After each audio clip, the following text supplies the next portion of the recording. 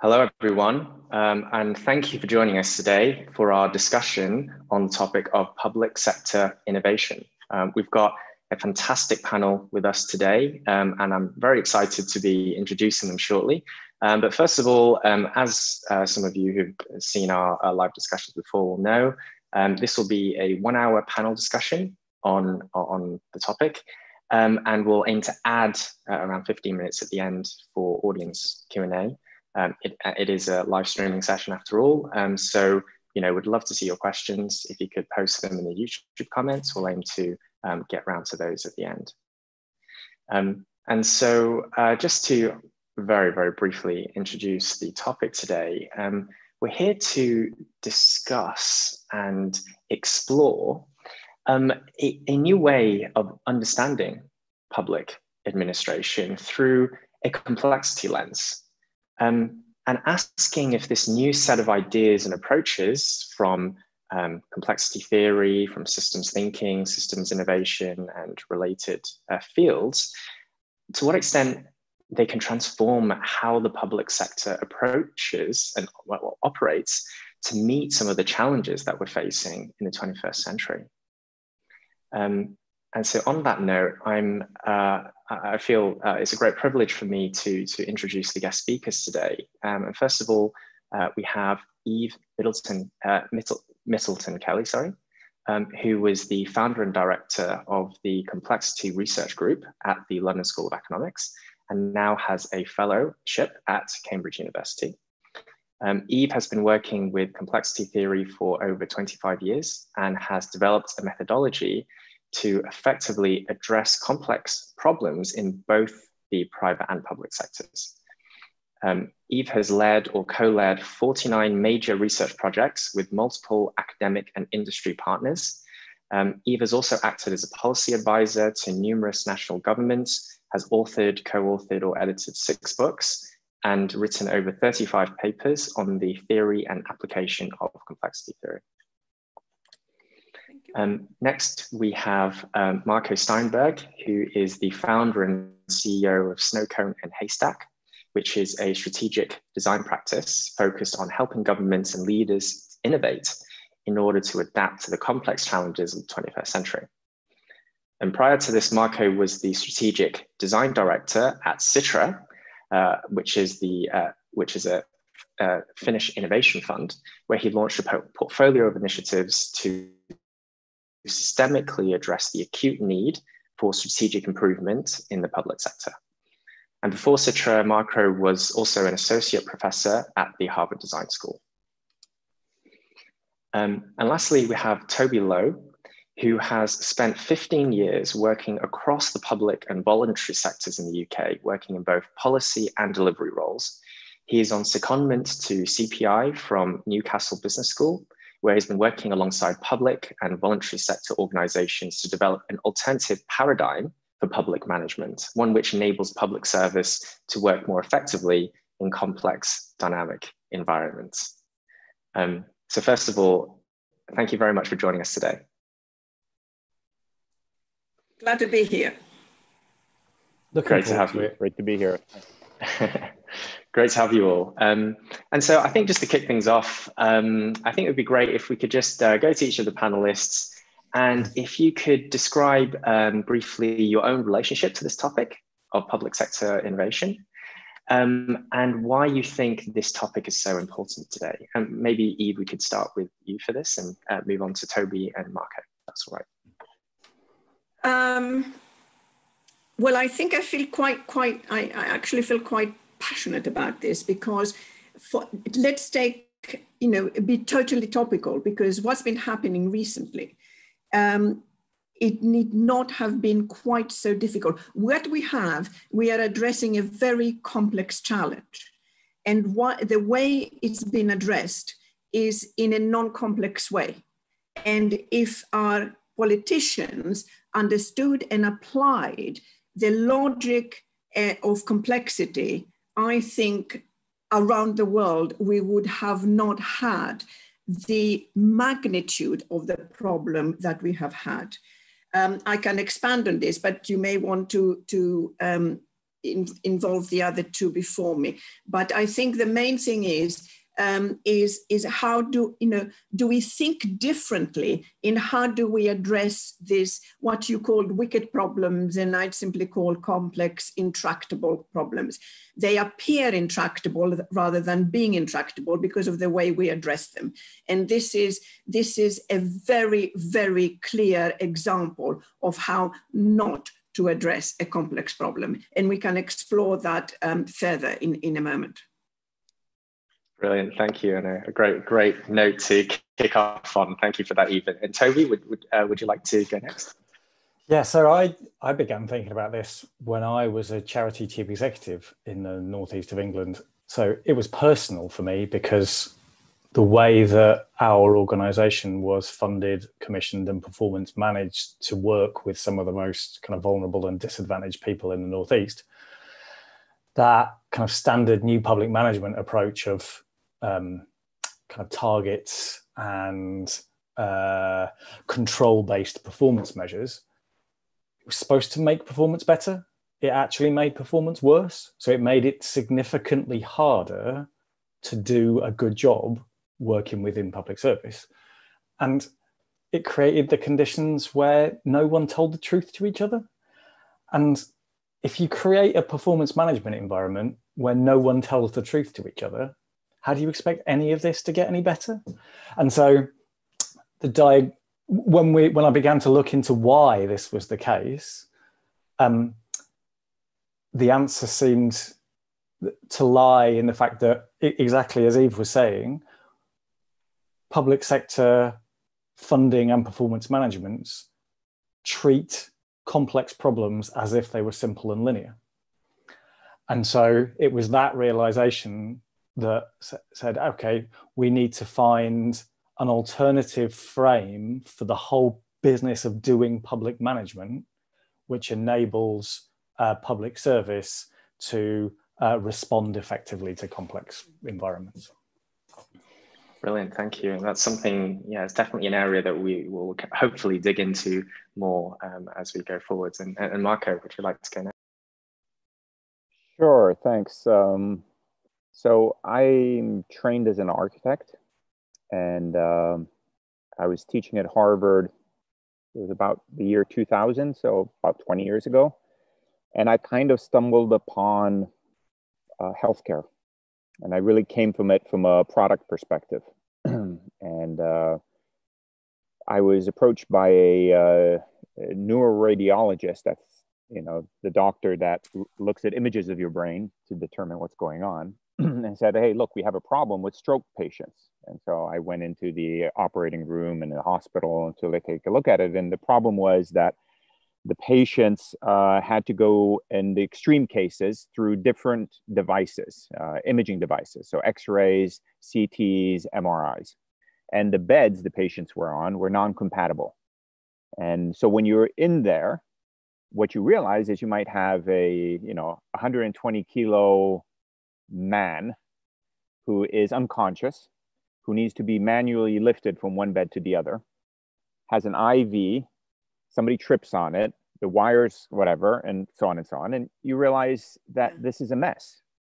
And, um, and so they asked us if we could design a bed that would be compatible with the different devices. And I actually realized that that was the wrong question to ask. The reason why they were non-compatible was because there were interests, business interests that that were working against it being compatible. There were standard issues that were working against it being compatible. And that actually this was not a medical problem. This was a convergence of business issues, uh, of financial logics, of incentives and reimbursements, of professional disciplines, of how teams work and don't work, and of organizations. It was actually at the intersection of all of that. And we very quickly realized that you may have very, very deep knowledge on financing, but if you're not looking at the bigger picture, it will be very reductive. And, uh, and so we very quickly proposed that we actually need to look at the whole cycle of care for stroke. Yes. And uh, yes. we spent 40 yes. years rethinking stroke delivery from cradle to grave, ground up. And, and if you if you took this approach, so this got me then into the in the public sector, realizing that this is just one of many kinds of issues that A was never designed and B has a uh, you know uh, a reductive, as as as colleagues have already sort of mentioned, a kind of reductive approach, and you can see it in the in the different ministries that we have. Um, so any kind of real work that needs to happen on the issues that we're challenged on cut across our ministries, and so I usually say most of the kind of innovation we need will happen in spite of our institutions, not because of our institutions, because they're not really enabling uh, doing that work. So I, I, started with this product question and quickly realized, and I'll just end on this, that my big kind of aha moment, I remember I was in Houston meeting uh, Jim Grotta, who's sort of the, the godfather of stroke care in the world. Like he set a lot of the standards. And he was a physician that worked with uh, emergency services and a lot of the public sort of governance issues. And we were in an elevator and he says, I've been waiting for almost 20 years for a team like yours to come I was trained as a doctor, and yet I've been struggling with questions of systems. Um, and I realized quite quickly that an architect's background is not a bad baseline to work off of. Um, I'll end there. We can dig.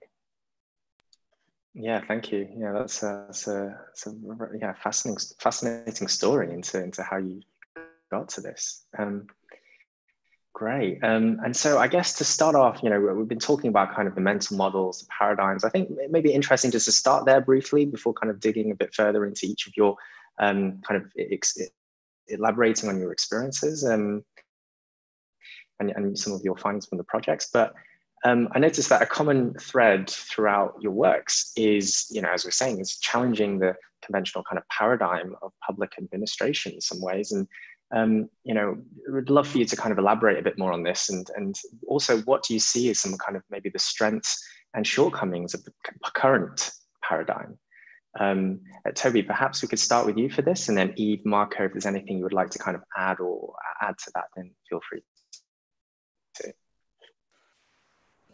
Um, so maybe I'll start with a question about strengths of the current paradigm. So I think it's important to name the current paradigm because it has a name and it's a particular ideology and it's created like through particular teaching programs and blah, blah, blah. So it's called New Public Management, right? It has a name and it is a particular set of ideology that has been characterized by the three M's markets, managers, and metrics, right?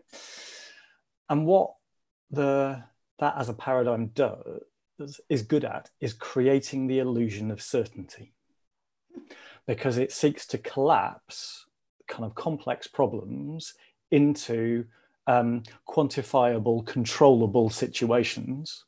And then it applies a, a control logic to all of those situations. So uh, uh, it says for any uh, public service problem, uh, you must be able to kind of collapse your objectives into what is measurable. So the whole smart targets business.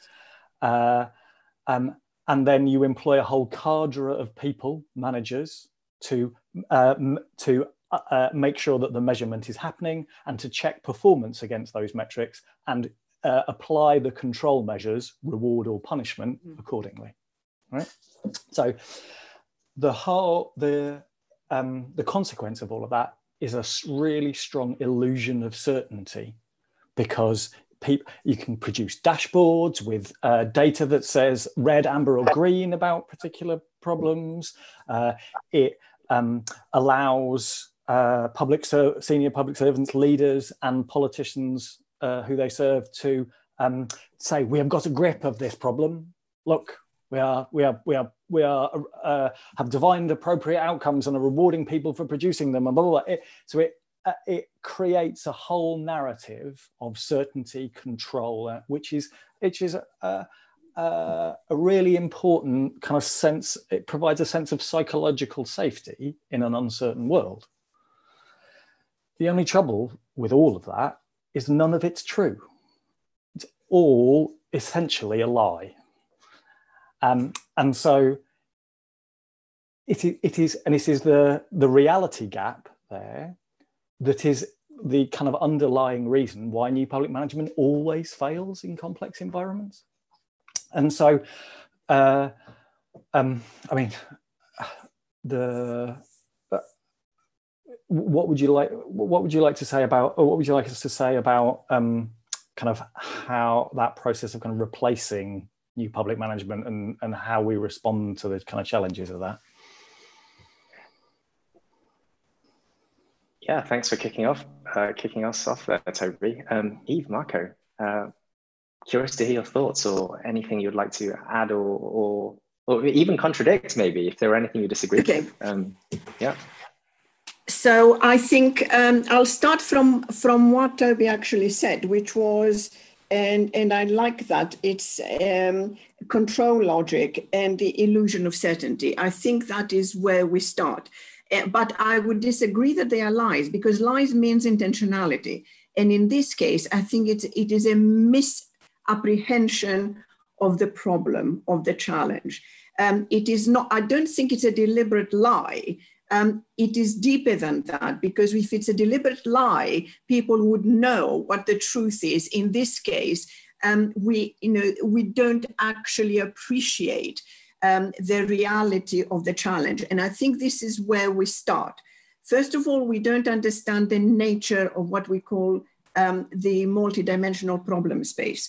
Um, uh, these complex challenges, these complex problems have multiple dimensions. There's social, political, economic, physical, technical, financial, etc., etc., etc. And yet we try to simplify it we try to control it, we try to measure it, we try to quantify it and reduce it to a state which is no longer realistic. And that is part of the problem. So, first of all, we need to understand that these complex problems have multiple dimensions and how to address them. We cannot, they do not have solutions. They don't have simple one-off solutions. The idea that we've been working with for over 25 years is the idea of the enabling environment. How do you co co-create? And I come back to something Toby said earlier about the, the, the lies part of this, uh, the thing that's missing in your first comment was the lack of trust. And in order to develop a working, enabling environment, you need collaboration, cooperation, trust, co creation. Now, look at what's been happening during the past few months, where um, individual citizens or groups or, or bigger, bigger uh, groups have actually self-organized to look at the problems they were facing in a totally different way. They became very creative because they were working together, they were supporting each other.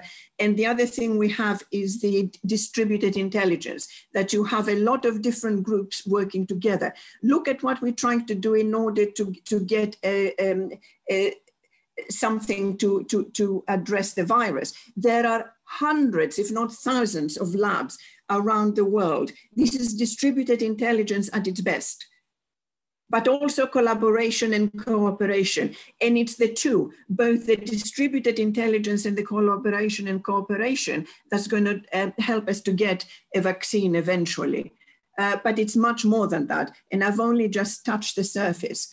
Um, so um, I'd, I'd, I'd, like to go much more deeply into the reasons why we cannot address these problems, but um, I'll let Marco have a go first and, and then we can come back for a second, another round.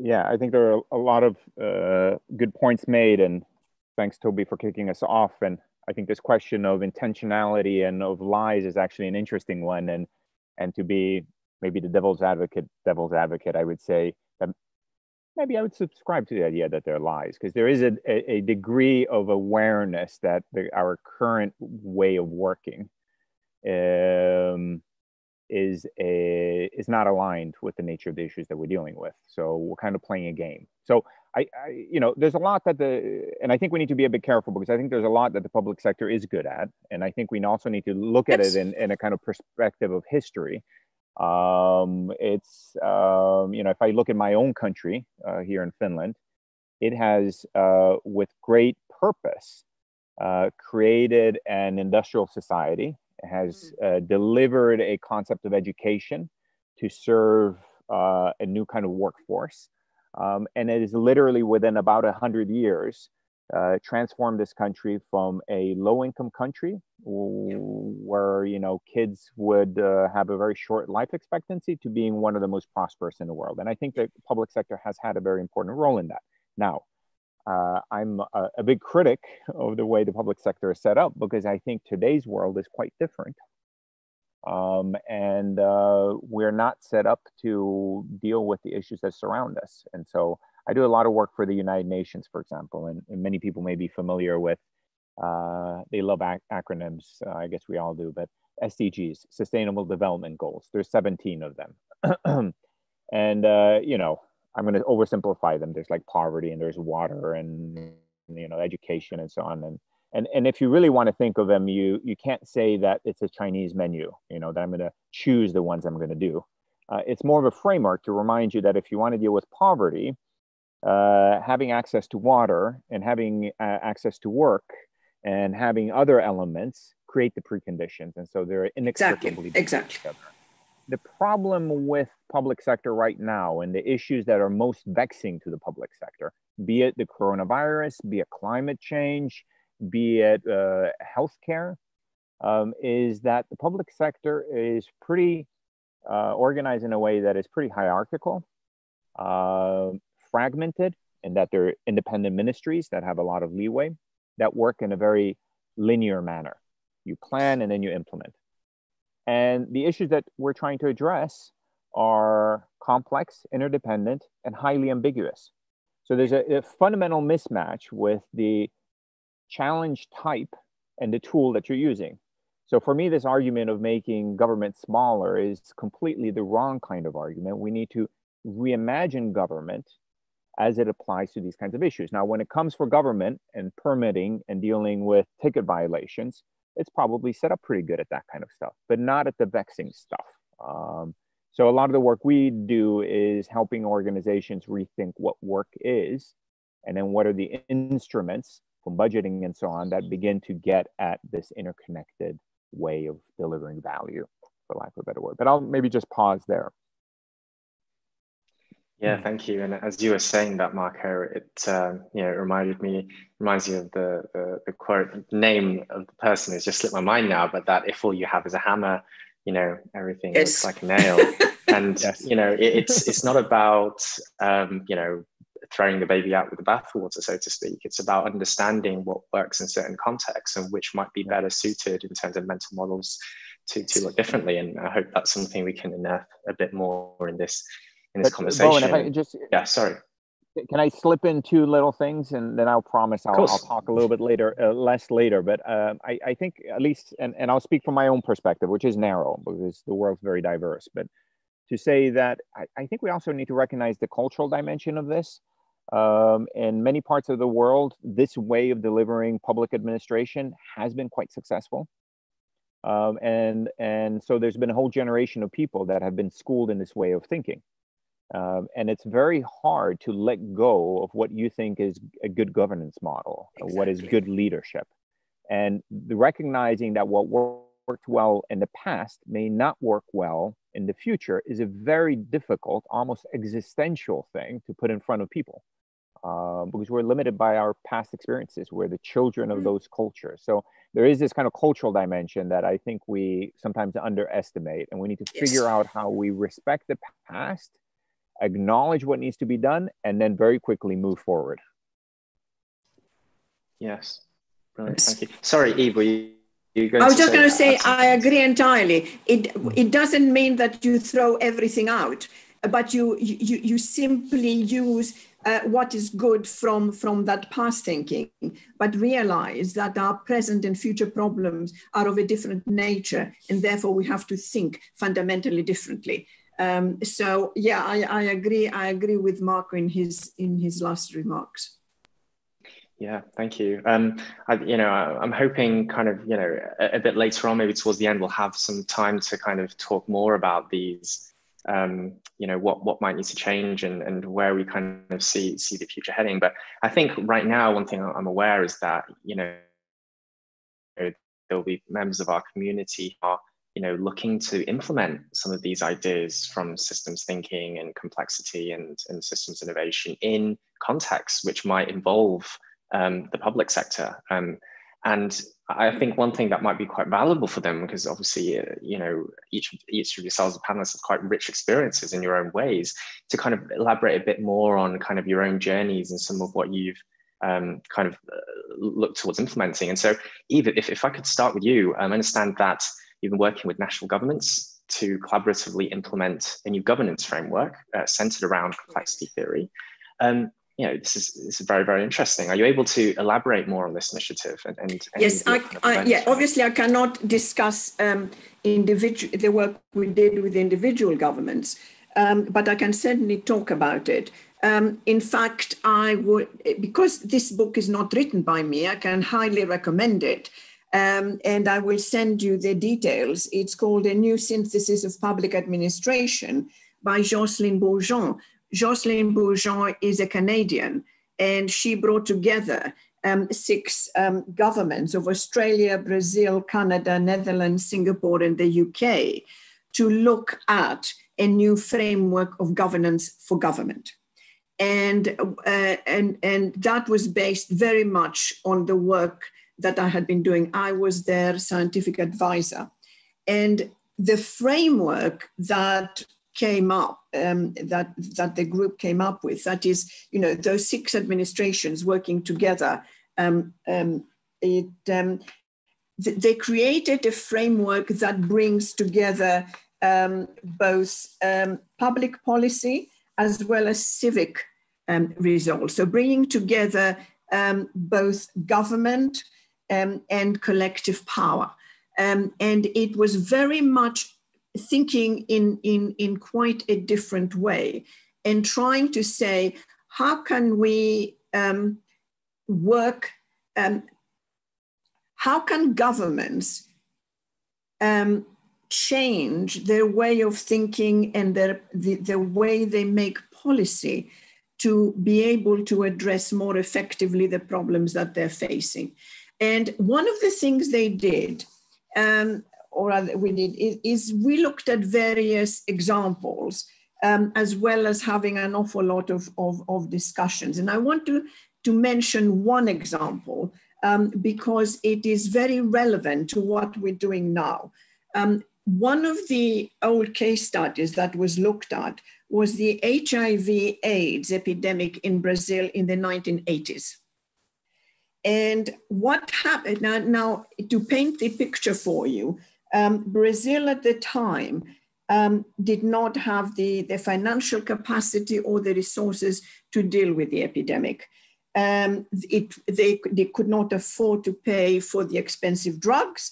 They did not have the capacity, and I think this will sound um, rather familiar not enough hospitals, not enough beds, not enough doctors and nurses.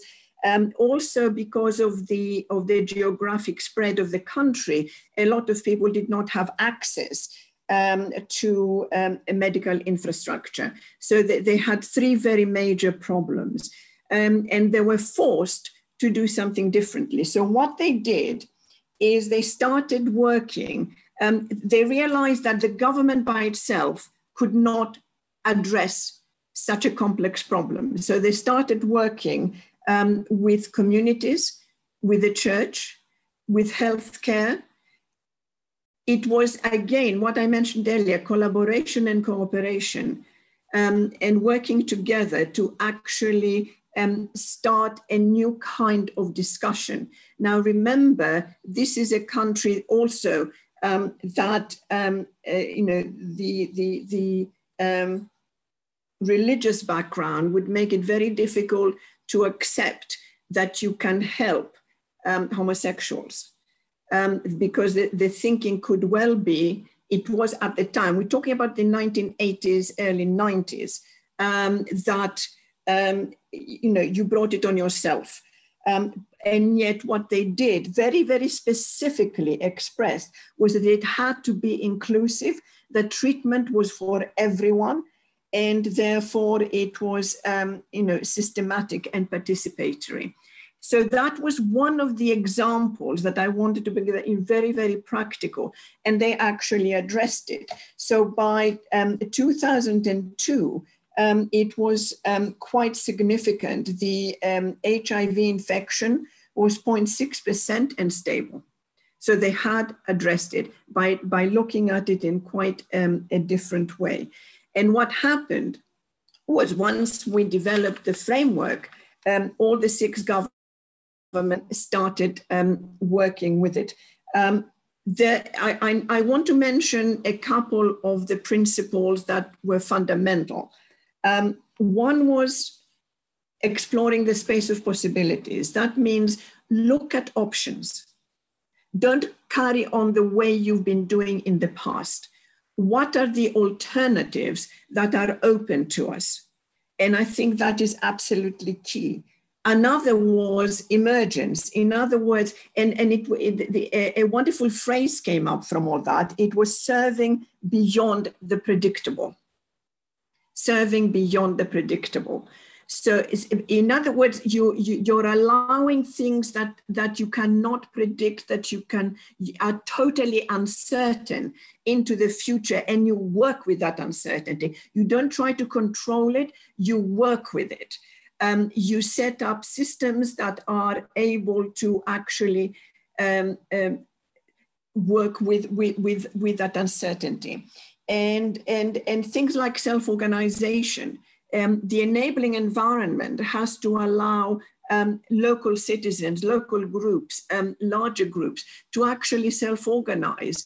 And, and then we learn. The other point is learning, learning from these different experiments. How do we learn from each other and actually make fundamental changes um, to our practice? And I think the last thing I want to mention um, is um, the, the concept of co-evolution which to me is one of the most fundamental and powerful.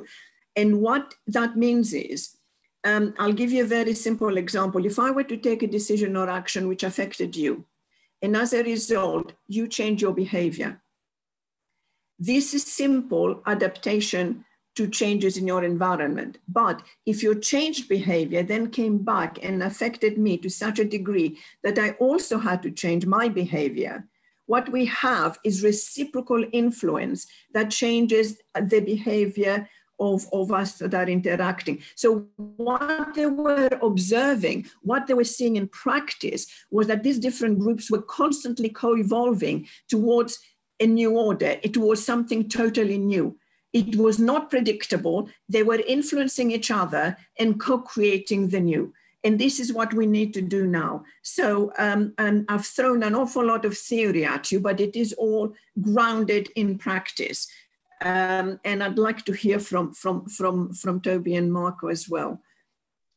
Yeah, thank you so much. It was, for me, it was quite, um, you know, enlightening hearing about, you know, these, the, as you say, that it's very grounded in the ideas, mm. in, in complexity, but it's been very acutely contextualized, very acutely applied. Um, and yeah, I think there were there were some interesting threads there as well. Uh, but I, I, and, and I'm sure we can go back to some of them. Um, but uh, to, to move on to you, Marco, um, in your work, you mention a lot, as you, as you did earlier, kind of the importance of taking this holistic approach to problem solving in the public sector and how this can often be contrary in some ways to how the institutions are typically set up.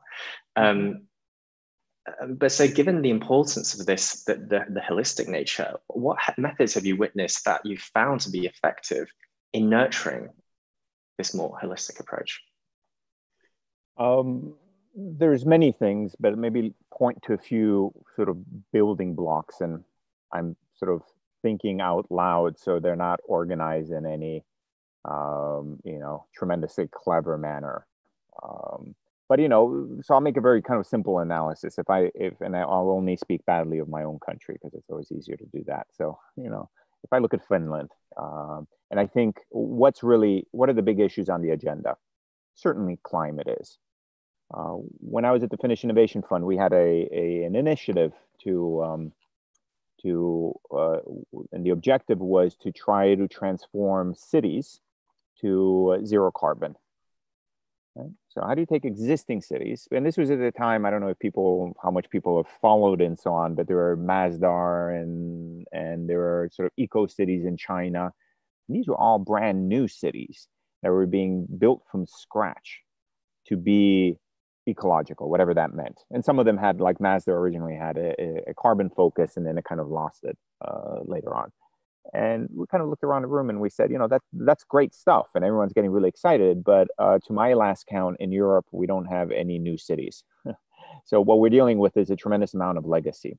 So how do we build uh, interventions into cur- current systems um, that transform the current logic to a preferred logic? So carbon intensive cities to zero carbon, and we can't shut the city down.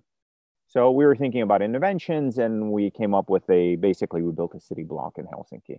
And by building something, and this is where maybe the practice of architecture is useful, this just happens to be a building, but done similar work in healthcare and others. But by building something, you force the issues. Uh, I have a, a, a dear colleague, uh, Brian Boyer, I've had the pleasure to work with for years, and he was on our team at, at, at the Finnish Innovation Fund. And he used to say, you know, what he loves about architecture is that uh, you know you got to put the plumbing somewhere. You got to agree on what the structure is going to be. You can't agree to disagree. And in policy, we frequently agree to disagree, and so we will kind of wishy-wash skirt around the issue. So when you actually make things, whether it's actually build a building um, or create a new system in a hospital, you're actually making very tough kinds of decisions. Now, these are decisions that require many inputs. So to try to make a very uh, fuzzy story a bit more concrete, if I go to the Finnish government and I say, okay, sustainability, low carbon, really important. So where is the ministry that's dealing with this? There is none. Right? So I need to go to the Ministry of Transport and Telecommunications to get the mobility bit. I need to go to the Ministry of Housing to get the building bit to go to the Ministry of the Environment to get the environment bit. I need to go to Ministry of uh, Employment uh, uh, to get the energy bit. Um, and so it's not set up. So one, one of the important things is, is how do you create cross-disciplinary, highly functional teams? We talk a lot about collaboration, but I think we're not specific enough. Uh, most people collaborate in a very transactional way. So I'll do my little bit for that, that article that you're reading. Um, I'll do my little bit for that. But when we talk about creative collaboration is how do you bring different disciplines around a table and rather than optimize a solution, or these are our options, or how we're going to weigh it, you create synthesis. You create new kinds of options on a table. Exactly. You're not constrained by the boxes that you were given, but you can actually create completely new things. So that would be one is how do you create cross-functional teams? The second is how do you create the financial incentives for that to happen? So a lot that I've talked for many years is how do you do things like total budgeting? Uh, because the flow of money will determine sort of where the levers and where the decisions happen. So in make decisions that, you know what, we're running a deficit, so we want 5% savings from the Department of Education. Great. And then five years later, we have uh, youth that are feeling more ill, mental health problems and so on, and we have a bigger bill to pay on the healthcare side of things. So what we've really done is they've done a tremendous job in the education department, but because their boundary for that problem was their internal one, they've just cost shifted, they problem shifted sort of issues. So can you set up a way in which you think of total budgets? So any kind of financial decision needs to be weighed against its impact across your society now and in the long term so you're not creating long-term liabilities so I, will I'll just stop on those two very simple ideas mm. of an integrated way of working and then to fuel that resource that with a logic that's aligned with it because what Absolutely. we frequently do is we set up the logic of a, a team but then we lead it as if they're separate individuals and we resource it as if it's an exception to the system, or we resources as if it's seven separate people. And so you'll never get the impact. And then people at the end of the day can tell you, I told you so, teamwork was not going to be so transformative. Yeah. yeah so teamwork. Uh, yeah, yeah, yeah. And, you know, the approach to kind of breaking down in some ways the barriers, but they're not physical barriers. They're kind of in a way almost emergent mental barriers, but just kind of in the natural, in the way of organization that actually can be detrimental in a way to understanding yeah. problems more holistically. Yeah. Yeah, I just want to add here, Bowen. I, I, I think yes, there is a kind of let's say psychology to it, but I think there's some very actionable and and and and, and sort of clear elements to it. And that's why, you know, if as an architect or as a designer, we were trained to shape buildings, so shape concrete and, and steel, when we work on systems and in the public sector, what we're shaping are financing, what we're shaping is the logic of investment, what we're shaping is how policies are made, right? So when you look at those things, you can see how the money flows. It's really tough investigative work, but you go into the ministries and you actually ask, how does the money flow? And can we make the money flow differently? And what are the mechanisms? And if you don't have them, then you create them. So there's a soft side to it, but there is a very hard side that, in a way, institutionalize a way of working that's not effective. Yeah, brilliant. Yeah, and thanks for clarifying that.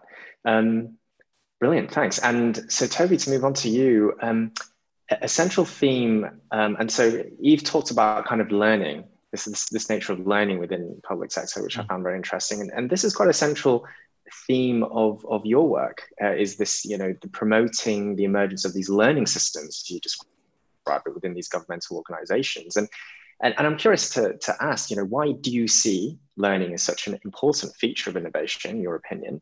And yeah, what have been some of your findings and learnings from these initiatives?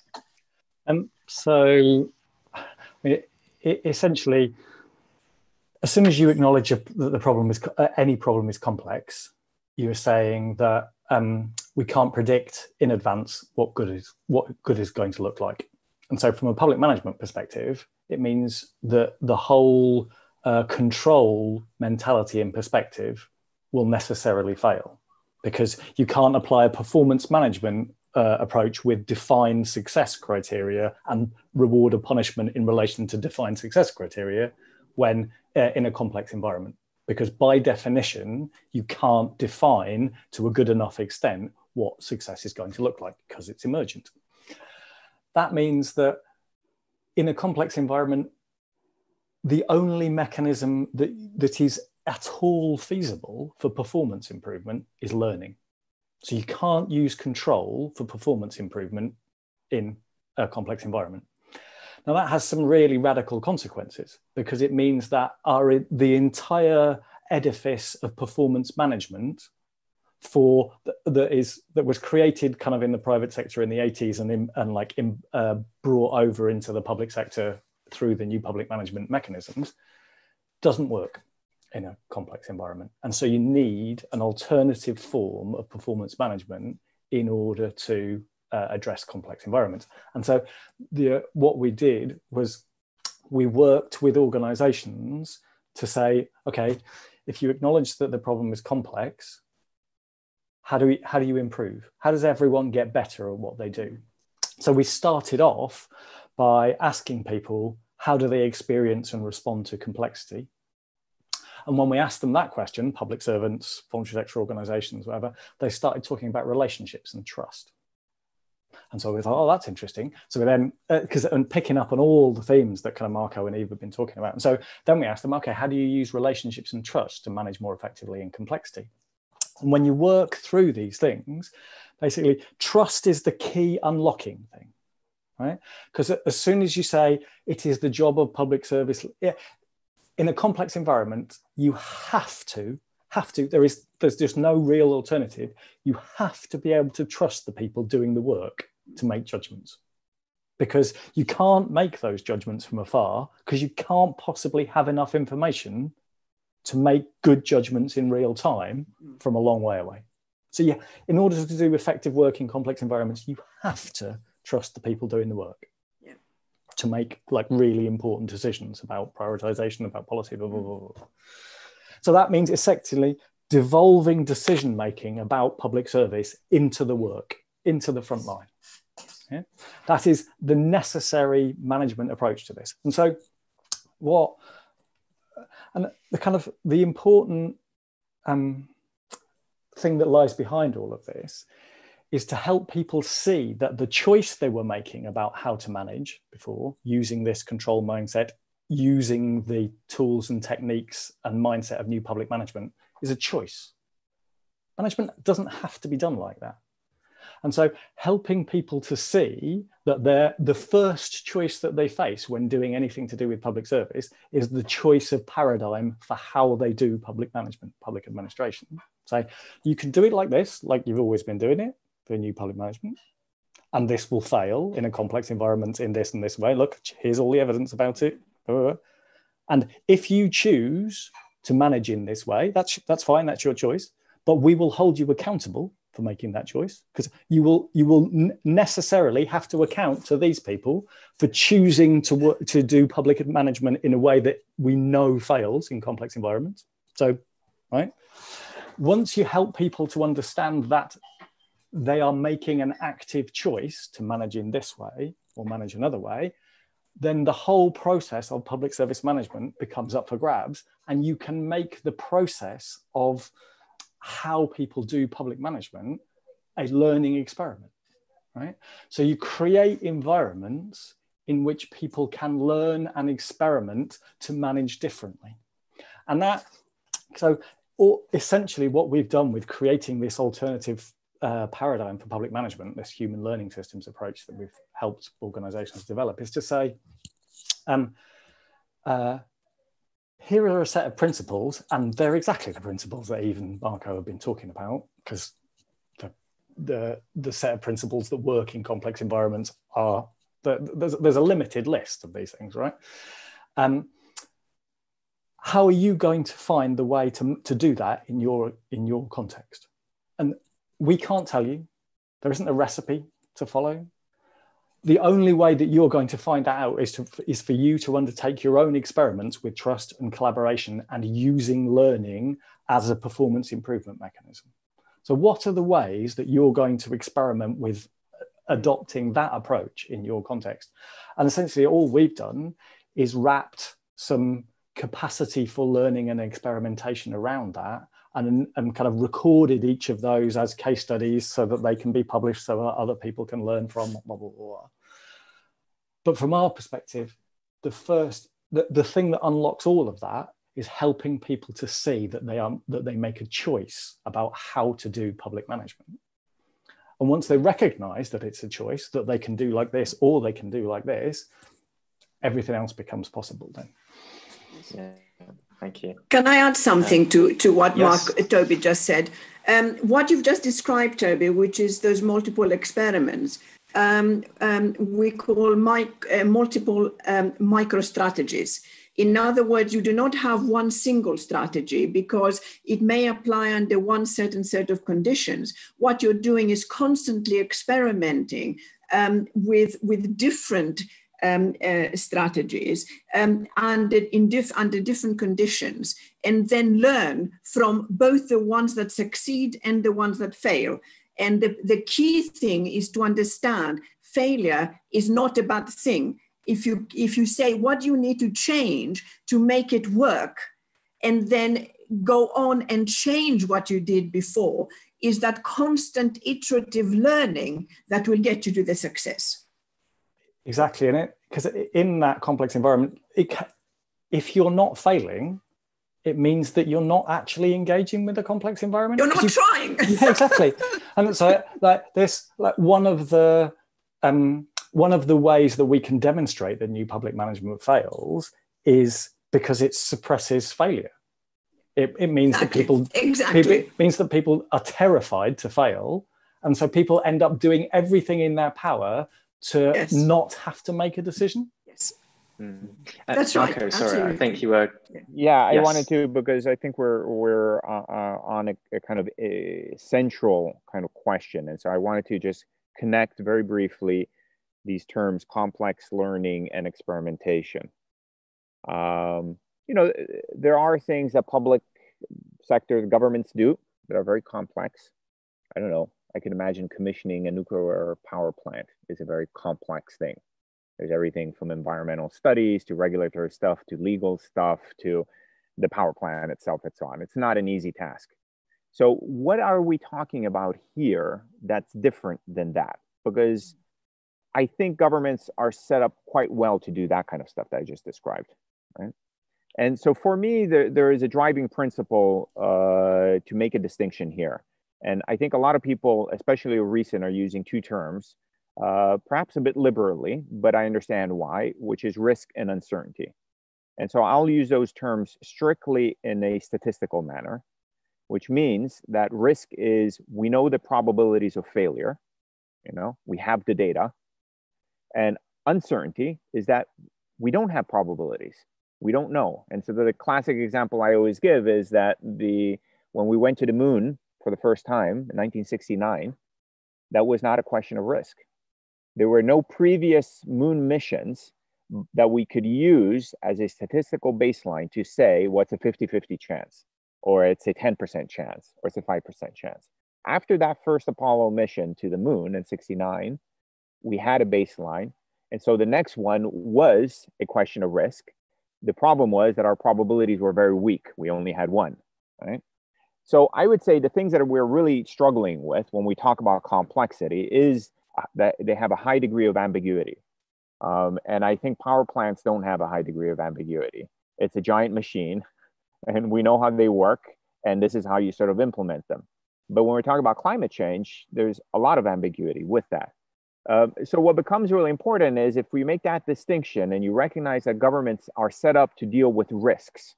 That's why they like to study things. They want to know the probabilities. And then it's easy for leadership to make decisions that now we're making, taking this kind of risk, which is in the best interest of the people. Now, you put in front of a politician and say, we don't know. We just don't know. There is no basis for decision making. And it's not that the individual is not courageous, is almost from a legal perspective, you will be challenged if you don't have a basis for making your decision right? So it stalls things. Now, if you recognize that we're dealing with questions that don't have probabilities, the example I frequently give is imagine we're going to make up, come up with a completely innovative tax system. So you know what we're going to do?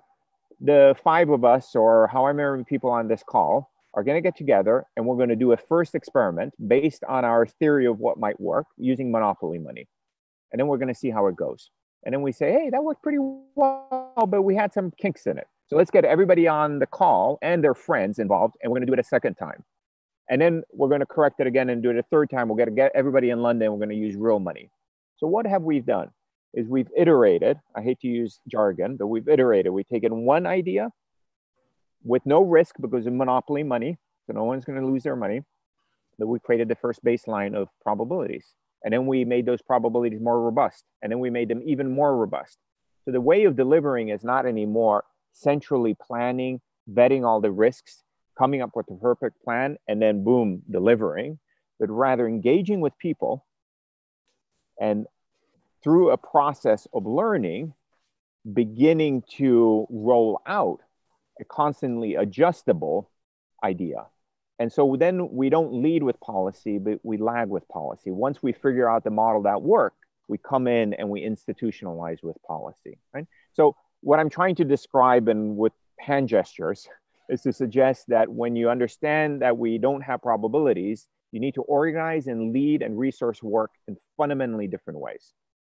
And so experimenting, iterating, uh, doing all these things is not because they're cool, but because they fall in the logic of how do you translate questions of uncertainty into questions of risk. And once you have enough probabilities, governments are actually quite good at kind of doing the rollout stuff. Can, I, can yeah. I add something Interesting. to that? Thank you. Yeah, sure. Go ahead. Um, so one of the um, the the ways that we've seen public management adapt to, uh, to, for a new way of doing public management is to take that idea of iterative learning and to say, actually, that is what we will commission organizations to do. So rather than purchasing, so particularly in the, uh, uh, uh, the world that I work in, particularly in the kind of human services thing. So uh, let's say, um, how do you respond to the needs of, of people who've experienced homelessness, right? Uh, and so up till now, what people would have done is say, okay, what does the evidence say about what's the best uh, policy response to homelessness? Let's commission organizations who deliver that evidence-based response and let's performance manage them uh, to, to, how well they uh, uh, they perform in fidelity to the model of that evidence-based practice. We know that that fails because the uh, uh, the nature of the problem of homelessness is a dynamic problem. It multifactorial, independent, it changes. And so even if something was best practice 10 years ago, it means the nature of the problem of homelessness has changed by now. Therefore, what was best practice 10 years ago is no longer appropriate. So you, in a human services world, you can't, you never get to the point of having enough statistical information to be able to commission an off-the-shelf product that you know will work. And our attempt to get to that point, to scale a thing that we know works, is part of the problem of public management. So the change that we've seen is organized is governments rather than commissioning a service, we will, it will work in this way. What they are commissioning is the capacity for organizations to learn and adapt continuously. So they aren't trying to, they don't produce a service specification, a tender that says you must do this, this, this, this, and this. What they do is say, we, we, we will find the organizations that we trust to learn well and to engage with citizens in the right way. And we will purchase their capacity to continuously learn and adapt. And that's what commissioning can become in a complex environment. Yeah, thank you for that. Um, I think um, it's been interesting this thread that we've gone through. I mean, I think one thing that sticks out for me, Eve, is very on at the start when you mentioned about this distributed um, distributed intelligence or distributed um, co-working. Um, and we seem to have taken that down uh, further further experimentation, how you do that. And even, yeah, with your uh, specific example commissioning, not saying this is exactly what we need, because how do you know that when it's emergent, but actually using this trust as a lever to kind of create more of a platform for things to emerge rather than a determined list of outcomes. Um, and so I, I, think this is a good time. We've just, just reached the hour point to bring in some audience questions. Um, and so we've, we've talked about some, I guess, solutions, even though I don't really like that word, but ways that we can address certain maybe shortcomings of the traditional paradigm of, of, of public services or public sector. But what do we view as some of the main challenges that we face in achieving some of these more holistic outcomes or complexity informed outcomes that we've discussed? Um, Eve, would you like to would you like to start with this question? And, and if anybody else wants to kind of chip in, then, then feel free. Um, okay, I think there are um, two main challenges I would like to, to, to start with. Um, I think it's, it's, it's, we need to do two things. One is to avoid the danger of oversimplification, because especially governments, when they are faced with a very complex issue, a very complex challenge, um, they do try to oversimplify it so that they can feel that they can address it and gain control.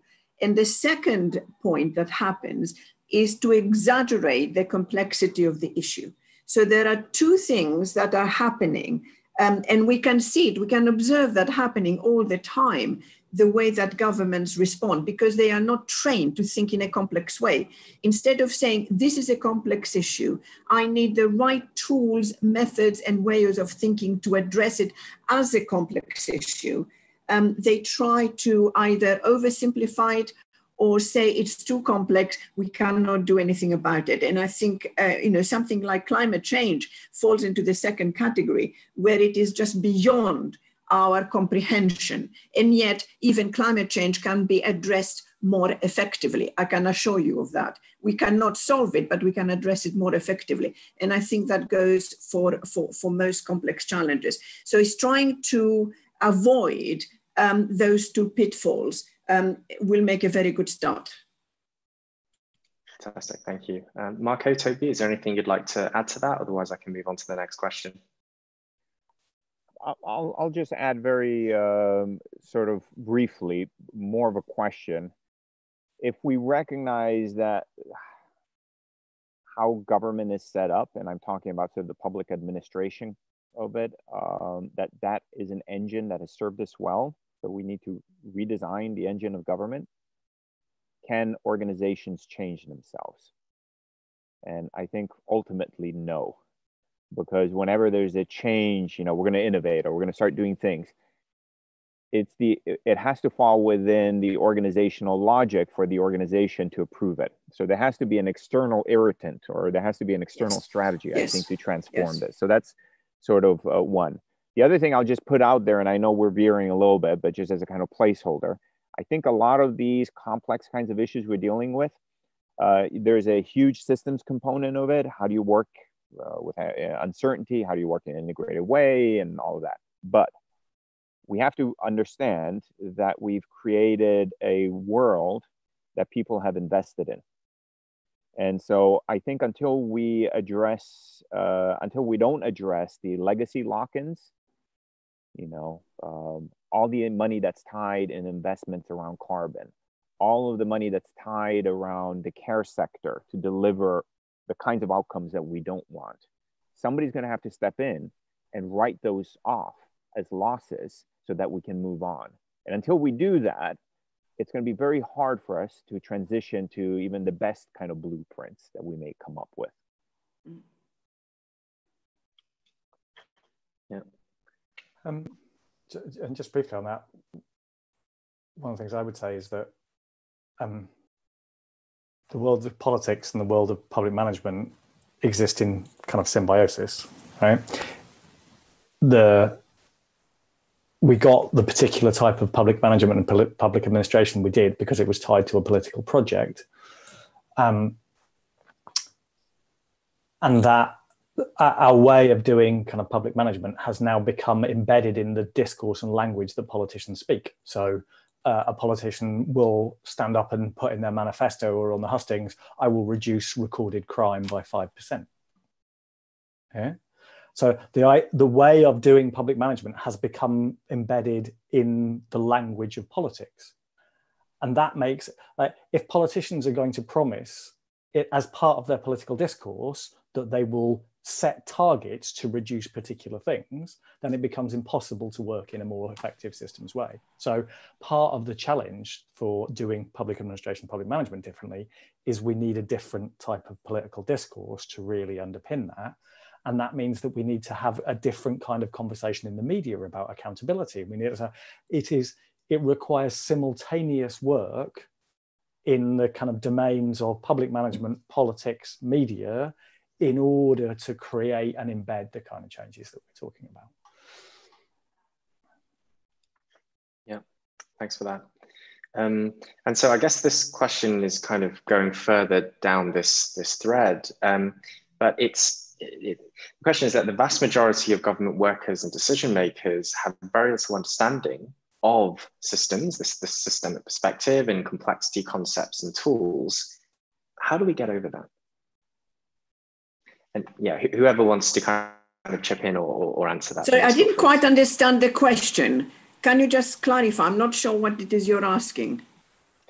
Yeah, it, it's it's just kind of highlighting that one of the barriers um, to maybe helping to adopt this more holistic view is that a lot of the people that work within government and the decision makers there have very little understanding or quite new to this understanding of, of systems and these complexity concepts that we talk about. So how do we overcome this hurdle in introducing this, this new approach? Well, yeah. I, I, I would um, say two things. Um, one is to shift from, let me put it this way.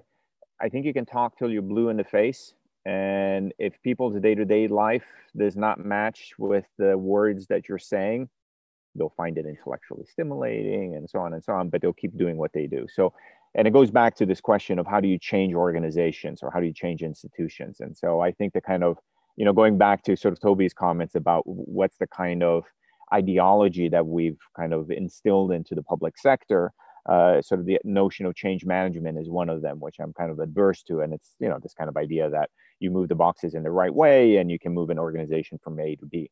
Um, I don't think that's a very effective way. Um, you, you lead with a lot of fear. We're going to move all these boxes with a lot of some promise that may or may not deliver. So I'd like to flip that around. And so I would say, let's start with a promise and so what we've done, which we've found quite effective, is you get people to actually start behaving differently.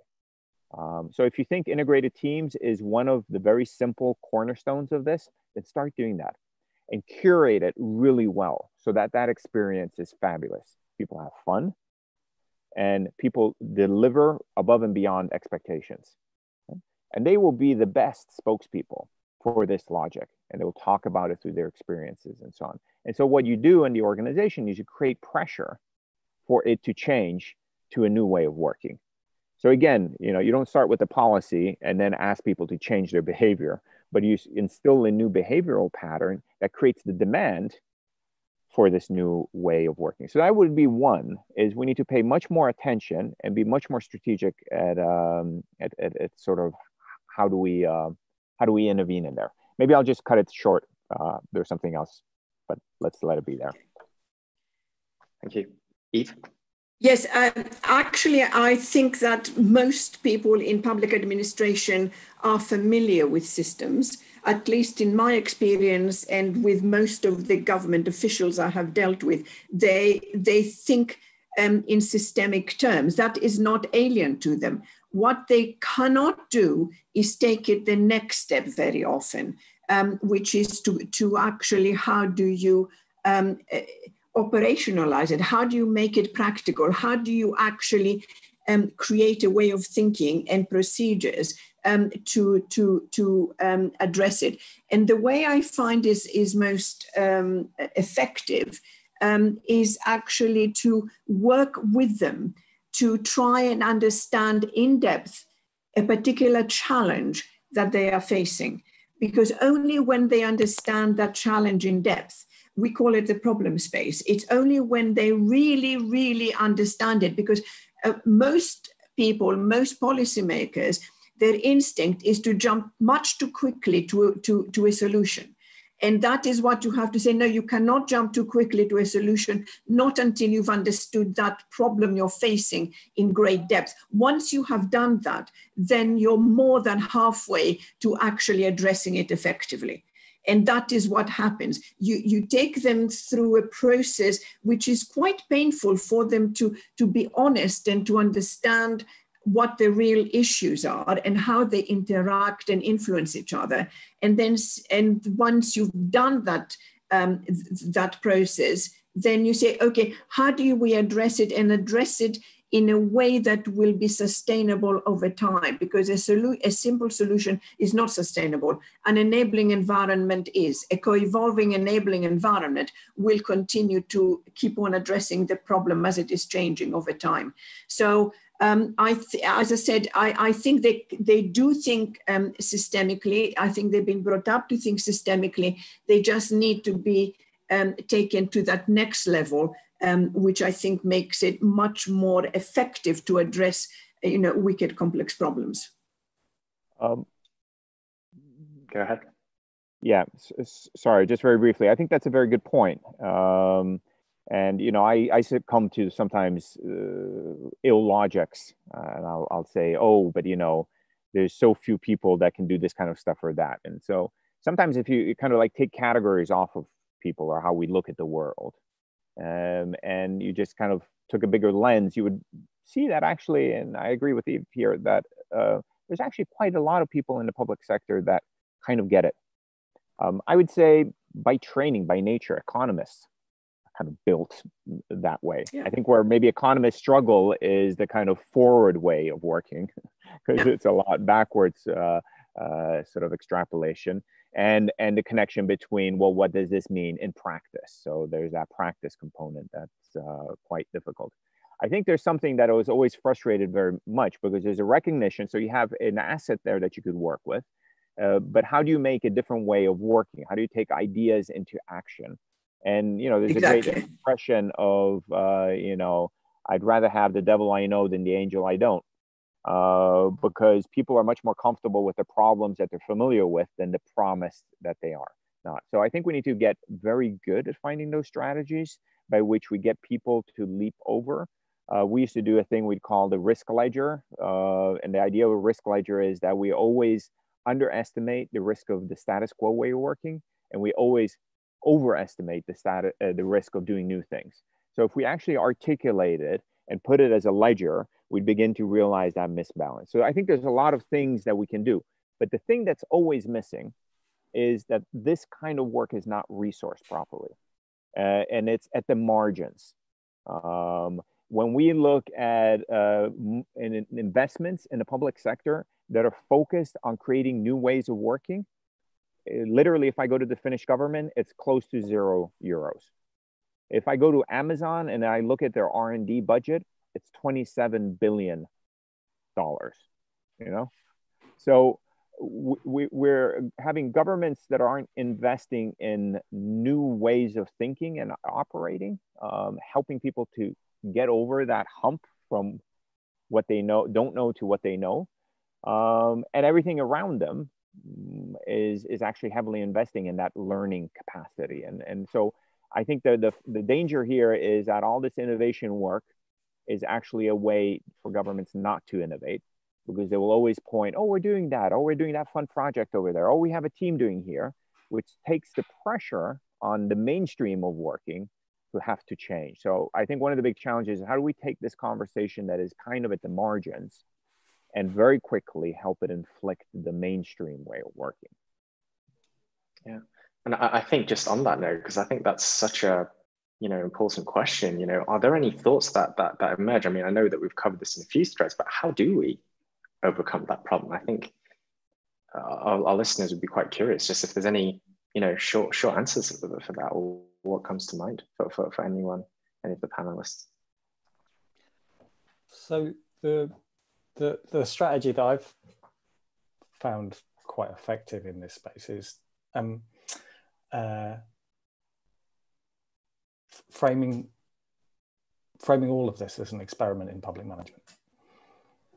Because you can all within any given kind of public management environment you will find people who recognize that the current paradigm has failed and is failing right anyone with any experience so that i would challenge the idea that the, the previous paradigm has been successful for 20 years. It hasn't been successful, really. It's covered up the its failures in the production of good looking data, mostly. Um, people involved in public management know that it hasn't been working and that there is enough of them to, that creates that sense of dissonance between the existing paradigm and their day-to-day experiences of doing this stuff and you can and those people are um, uh, have the energy and possibility for change. And if you can help them to create the permission space to experiment with doing yes. public management differently, so not not just is it, and Marco's exactly right. The problem of let's try a little project here and a little project there. The experiment is with doing public management differently. And if you can create that as a, uh, uh, enable them to create their own permission spaces to run those kind of experiments, that seems to be a way to create a kind of broader change. Yes. Yeah. Can I just add to that? Yeah, I agree entirely. This permission space is fundamental. But also, don't forget that if we were to try and do it at a very big scale at the outset, um, a government is going to be very, very nervous to do it. A large organization is going to be very nervous at applying it to, you know, a global organization. My advice usually is start small, start a small experiment, and work with a really difficult problem, and then see um, how thinking differently, working differently is going to address it. Because once you have that success in a small scale, which means you're not risking um, too much, um, you then demonstrate that it can be done and it can be done effectively and successfully. So that would be my advice. Start small and then spread it out and constant learning. Um, and because then you reduce, you reduce the fear and the risk of trying it um, at a big scale at the outset. Uh, I, I, just want to add two two quick maybe points on this. Uh, one is, and I'm speaking from kind of a practitioner perspective and colleagues who do a lot of work to do to figure out kind of new kinds of solutions. Keep it very vague. And and I think maybe one of the one of our downsides has been that we've uh, put a lot of effort in articulating why a new way of working is is a preferred way of working uh, or holds promise. I think we need to do much better job at actually showing and illustrating and, and very precisely articulating the risks of the status quo, make them much more self-evident, going back to some of the comments before, and, and actually demonstrate how the risks currently are far exceed the, the kind of common sense of what those might be. Put it on paper, and then it, it's context so depends you know so I, what might work in finland may not work somewhere else and what might work this year may not work next year but as a kind of idea is if that's not enough is quite literally put government on notice uh, because the moment you put it in writing and you put it out there there is suddenly now an obligation to say do i choose to disregard this information that seems to be put together very very thoroughly and potentially pay the consequences down the line or am i going to take it seriously so i think we need to do a far better job at that um, and I, what I found useful then going to the kind of small entry points is to figure out what are the entry points into the system. And two things I would say. One is find the places where the current way of working has constantly failed. In Finland, exactly. there was boys, 16 year old boys kept uh, dropping out of the school system, regardless of however good it is, right? So work on that because the expectations are low and then hopefully have success. And yes, be clear right. that uh, the mantra of success uh, fails uh, soon and frequently uh, that the private sector has does not apply in the public sector. Because at least my experience has is when you fail early all the naysayers will come very quickly and say i told you so. And that door that you opened will be shut very very quickly. So you need to figure out where are the very low hanging fruits where you can have quick wins and then the last thing I'll just say is I'm, uh, and I'm just pushing back in terms of the spirit of an intellectual discourse, is I'm adverse to the idea of experiments because they're usually designed to fail. They're designed to be standalone where you either prove or disprove an idea. And I think we need to think of it much more as a kind of new product launch. This is the beginning of a new logic. And so what you need to have is the default for resourcing that flip from what it currently is. In an experiment, you get money and then we'll see what happens. And then you're going to ask, you know what's the hardest thing in life is get people to agree. So then you're going to do the hardest thing that you did once to get the experiment and you're going to keep repeating it every 6 months. So the likelihood is this thing is going to die. So what you do is you say, we have this hypothesis and you know what? We think we are going to succeed. We're going to come up with a transformative service. So we think this will require over five years this much money, and then we'll have these milestones. And at any point, you guys can kill it, right? So make difficult people to agree, make them agree on killing something rather than giving it the green light. So a lot of this work has to have the kind of systems approach, but you have to curate a lot of the other elements to make it happen, uh, so to speak. So change the defaults of how this stuff gets resourced. Fantastic, thank you. Um, I'm afraid we're out of time. Um, I mean, for me personally, it's been deeply enriching, and I think I was really fascinated by kind of the overlaps and and and the you know the quality of this discussion. So I want to really, really thank you for thank you for taking the time to discuss this with us today. I think just as a as a final point, um, for any of the listeners, how do they um, kind of keep in touch with you or or keep on top of what you're currently doing? How do they how do they stay in the loop? Uh, uh, maybe Eve, Toby, Marco, just because that's the order that I see this on my. on my well, I think um, probably all of us are on LinkedIn. It's the best way to get in touch. Okay, fantastic. Twitter, so, LinkedIn, yep. So yeah, Twitter or like you can contact us via the new website that we've created for uh, bringing together a, all the knowledge we can find around it, which is uh, humanlearning.systems. www.humanlearning.systems. Thank you. Uh, and is it the same for you, Marco? Uh, Twitter? Oh, well, it's a different mm. website, but no, I'm kidding. so Twitter, LinkedIn, uh, yeah, those would be the easiest ways yeah, it is. LinkedIn Fantastic. is very good. Yeah. Yeah. Fantastic. Thank you so, so, so much um, for joining us today and for, for all the listeners. Um, and I wish you all uh, a great day or rest of the day wherever you are in the world. And, um, and yeah, keep in touch. Thanks, everyone. Thanks for joining.